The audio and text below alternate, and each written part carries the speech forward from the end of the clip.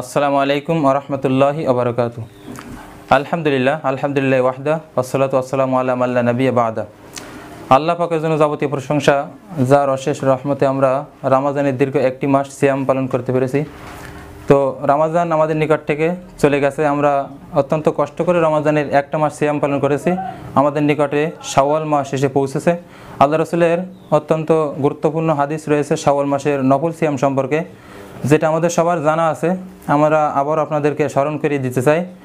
শাওয়াল মাসের ছয়টি সিয়াম একটা অত্যন্ত গুরুত্বপূর্ণ সিয়াম, যে সম্পর্কে সহি মুসলিমের হাদিস এসছে এগারোশো চৌষট্টি নম্বর হাদিস মিসকাতে এসছে দুই হাজার সাতচল্লিশ নম্বর হাদিস। আবু আইব আনসারি রদুল্লাহ বর্ণিত হয়েছে, হাদিসটা রসুলাম বলছেন মাংসম রমজান যে ব্যক্তি রমজানের সিয়াম পালন করল, যে ব্যক্তি রমজান মাসে সিয়াম পালন করল, সুম্মা আতবাহু সিত্তামিন শাওয়াল অতপর শাওয়াল মাসের ছয়টা সিয়াম পালন করল। রমাজান মাসে সিয়াম পালন করল, অতঃপর সাওয়াল মাস আসার পরে সাওয়ালের ছয়টা সিয়াম পালন করল, সিত্তাম মিন শাওয়াল শাওয়ালের ছয়টা সিয়াম পালন করল, কানা কাসিয়ামি দাহরি সে যেন সারা বছর সিয়াম পালন করল। সুবাহান্লাহ আবিহামদিহি মুসলিমে যে হাদিস আসছে যে রমাজানের সিয়ামটা পালন করাটা শর্ত। রমাজানের সিয়াম পালন করল, তারপরে শাওয়াল মাসে ছয়টা সিয়াম পালন করল। এমনটা নয় যে ব্যক্তি রমাজানের সিয়াম পালন করবে না শুধুমাত্র- শাওয়ালের ছয়টা সিয়াম পালন করবে, তার জন্য সারা বছর সিয়াম পালন করার নেকি হবে না। তবে সারা বছর সিয়াম পালন করার ব্যাখ্যাটা মহাদ্দিসগণ এইভাবে করেছেন যে আল্লাহ তালা কোরআনে বলছেন, মান জা আবিল হাসানাতি ফালাহু আশরু আমসালিহা। যে ব্যক্তি কোনো নেকির কাজ করল, আল্লাহ তালা তাকে দশ গুণ দান করবেন। একটা নেকির কাজ করলে আল্লাহ তালা দশ গুণ বৃদ্ধি করে দেবেন। এইখান থেকে মহাদ্দিসগণ ব্যাখ্যা নিয়েছেন এইভাবে যে রমাজানের তিরিশটা সিয়াম, তিরিশটা, আর এর সঙ্গে সওয়ালের ছয়টা সিয়াম যোগ করে মোট ছত্রিশটা। ছত্রিশের সঙ্গে দশ গুণ গুণন করে তিনশো ষাটটা। অর্থাৎ বছর আরবি বছর হয় তিনশো ষাট দিনে। এইভাবে ব্যাখ্যা দিয়েছেন অথবা আরও সহজ করে বলা যায় রমাজানের এক মাস, এক মাসের সঙ্গে দশ দিয়ে গুণ করলে দশ মাস, এরপরে সওয়ালের ছয়টা সিয়াম, ছয় দশকের ষাট, আর ষাট দুই মাস। অর্থাৎ এইভাবে ওই গেল দশ মাস, আর এইখানে শাওয়াল মাসের সিয়ামের জন্য আর দুই মাস। এইভাবে ব্যাখ্যা দিয়েছেন মহাদ্দিসগণ। তো যাই হোক, রমাজানের পরে যদি আমরা শাওয়াল মাসে ছয়টা সিয়াম রাখতে পারি আলসালাম বলেছেন, ছয়টা সিয়াম রাখার কারণে ওই ব্যক্তি সারা বছর সিয়াম পালন করার সময় নেকি পেয়ে যাবে সুবাহ হামদি তাহলে কত গুরুত্বপূর্ণ, ফজিলতপূর্ণ এটা। আমরা অনেকে জানি, কিন্তু জানার পরেও আমরা আমল করি না। আবার অনেকে আমাদের জানাও নাই। যাদের জানা নাই, তাদেরকে আমরা জানিয়ে দিতে চাচ্ছি। আর যারা জানি, তারা আমরা ফজিলতের দিকে খেয়াল করে রমাজানের পরে আমরা রমাজানের দীর্ঘ একটি মাস আমরা অত্যন্ত কষ্ট করে সিয়াম পালন করলাম। এখন আমরা যদি ছয়টা সিয়াম যদি আমরা পালন করতে পারি, তাহলে রসুলামের হাদিস মোতাবেক আমরা সারা বছর সিয়াম পালন করার সব আমাদের আমল নামায় পেয়ে যাব। আর এইভাবে যদি আমরা প্রত্যেক রমাজান যদি আমরা সিয়াম পালন করি, এরপরে প্রত্যেক রমাজান শেষে যদি আমরা শাওয়াল মাসে ছয়টা সিয়াম পালন করতে পারি, তাহলে প্রতি বছর যদি আমি প্রত্যেক বছর যদি আমি রমাজানে সিয়াম পালন করলাম, সকালে ছয়টা সিয়াম পালন করলাম, তাহলে আমার এইভাবে যদি আমি আজ থেকে নিয়ে শুরু করে, আমি রমাজান মাস থেকে নিয়ে শুরু করে, এবার থেকে নিয়ে শুরু করে যদি আমি মৃত্যু পর্যন্ত আমি যদি এই আমলটা অব্যাহত রাখি, তাহলে আমার বাকি জীবন আমি যতদিন বেঁচে থাকি, ততদিন আমার সিয়ামের সব আমার আমল নামায় থেকে যাবে। সুমানুল্লাহ হামদি তাহলে কত গুরুত্বপূর্ণ হাদিস। আমাদেরকে চেষ্টা করতে হবে সকলকে এই ছয়টা সিয়াম আর একটু কষ্ট করে হলো রমাজান আমরা তিরিশটা রোজা রেখেছি, অত্যন্ত কষ্ট করে। রহমসাল্লাম বলছেন কিয়ামতের দিন যখন মানুষের আমল নামে ঘাটতি হয়ে যাবে, তখন তাকে নফল ইবাদত দিয়ে তাকে পার করা হবে। সিয়াম জাহান্নাম থেকে মুক্তি করার জন্য একটা অত্যন্ত গুরুত্বপূর্ণ মাধ্যম। রহমসাল্লাম বলছেন মানসমা রমাজা মানসমা ইয়মান ফি সাবিলিল্লাহ। যে ব্যক্তি আল্লাহকে সন্তুষ্ট করার জন্য একটা সিয়াম রাখল, নফল সিয়াম মান সমা ইয়াউমান ফি সাবিলিল্লাহ। একদিন যে ব্যক্তি সিয়াম রাখল আল্লাহকে সন্তুষ্ট করার জন্য বা আদাল্লাহ আনিন নার সাবাইনা খরিফা আল্লাহ তালা ওই ব্যক্তির চেহারাকে, অর্থাৎ ওই ব্যক্তিকে জাহান্নাম থেকে সত্তর বছরের পর দূরে ঠেলে দিবেন। সুবহানাল্লাহি হামদি তাহলে নফল সিয়ামের গুরুত্ব অত্যন্ত বেশি। এই জন্য আমাদেরকে নফল সিয়াম রাখতে হবে।